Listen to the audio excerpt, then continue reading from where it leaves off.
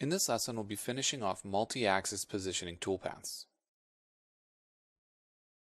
After completing this lesson, you'll be able to create a pocket clearing operation and simulate toolpaths to validate material removal.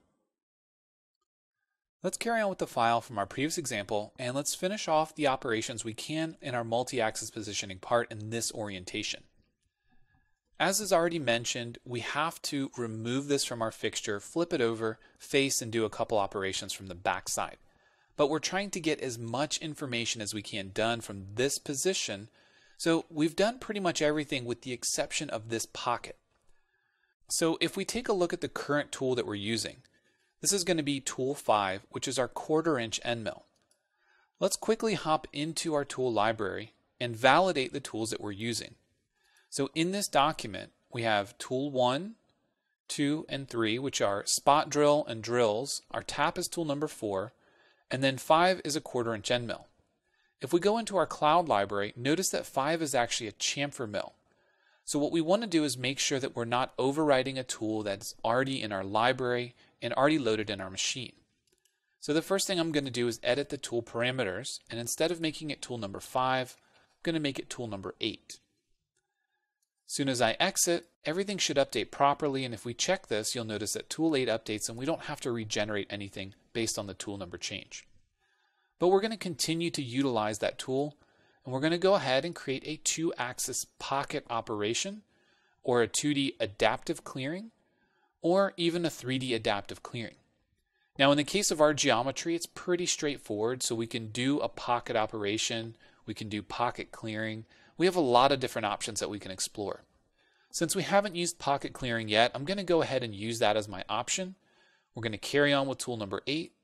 We're going to take a look at our geometry, and for our machining boundary, we can use a bounding box, we can use a silhouette, we can use a selection, and in this case I want to use a selection and keep the tool inside of this area. I'm going to say OK with no other changes and see what the toolpath is that it creates. So keeping the tool in this area, notice that it's able to cut all the way to the bottom of our geometry.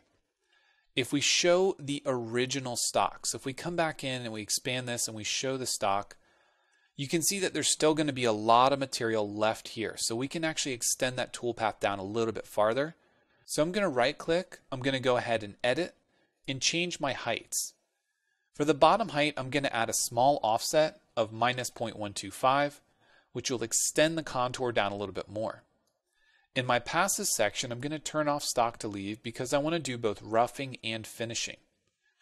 I don't have to worry about step downs because it's already calculated for me, but I can go ahead and say OK, allow it to recalculate with the new depth, and then we can turn off our stock, select our multi-axis setup, and simulate it one last time.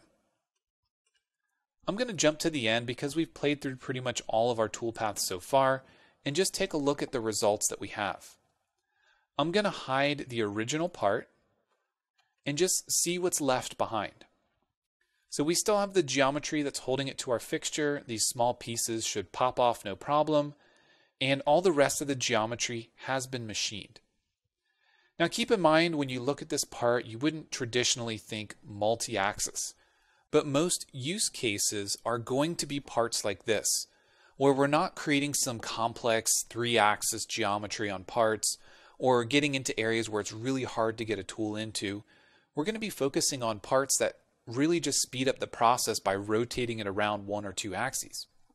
So again, this is a great example of what is seemingly a basic part, but it can be done very easily on a multi-axis machine.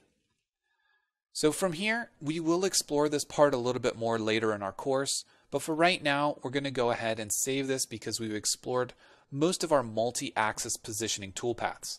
We've taken a look at positioning for drilling, and we've looked at multi-axis positioning for basic operations such as 2D contours and even some adaptive clearing. So once you're done exploring this part, make sure that you save your file before moving on.